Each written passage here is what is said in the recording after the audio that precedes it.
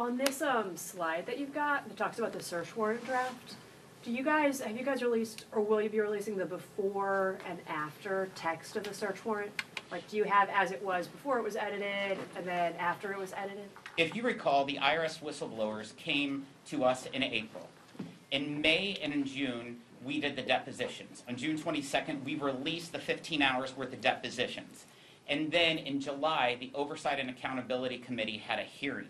And at that hearing, those two IRS whistleblowers testified and was asked numerous questions by Democrat and Republican members of Congress that they were not able to answer because of 6103 authority, a private taxpayer information. The only way that information could be answered is if they would submit that to the Ways and Means Committee and then we would vote to make that public. That's in fact what we did today. We only made public what they gave us from addition from the oversight hearing. So everything of the 700 pages, that we released is what the two IRS whistleblowers gave us. And, and does that include the before and after language of this particular search warrant in the seven hundred pages you guys are releasing?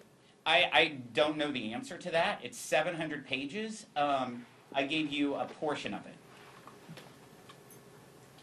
Yes. Um, excuse me. Uh, Democrats have said that you guys have only spoken to four people who were involved in this seven, eight year case out of 60 people, both IRS, DOJ, FBI that were involved. Do you plan to subpoena or send requests for the rest of the, the individuals that were involved in the Hunter Biden case to get the full picture of what happened? Yeah, great question.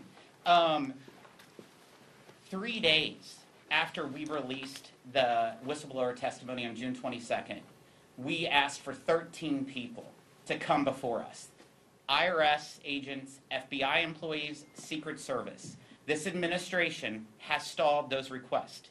We did subpoena four of those that we just recently finished their depositions in the last two weeks. It took us three months to get four people because of how the administration, Joe Biden's administration, is blocking their employees from speaking to Congress. This is probably the first time in the history of Congress that we've seen a special counsel appointed to obstruct a congressional investigation. And that's in fact what we're seeing out of this administration. And secondly, to go back to the timeline of August 2020, will you be asking Bill Barr or anyone from the Trump Justice Department to come in and talk about their time on this case? We have a long list of people that we are trying to come in to answer questions. We're following the facts, and we're going to see where the facts lead us. Can I add something on that? Yes. uh, Chairman Smith? So to your, both your questions on the timeline, I think it's important to remember the U.S. Attorney at the time, David Weiss, was put forth by two, de- the two Democrat senators from Delaware. So it was their choice for uh, the U.S. Attorney, Mr. Weiss. We would love to talk to Lesley Wolf. If you read through the affidavits from the whistleblowers, they say under oath, Lesley Wolf put a stop to it. She's a career federal prosecutor in Delaware. She has not come forward. We haven't had the ability to talk to her. We'd love for her to go to the Judiciary Committee, be put under oath, and explain why she stopped this investigation at every level. That pinpoints the exact time that you're talking about there, but they have not come forward. They have not been revealing. None of that information has come forth.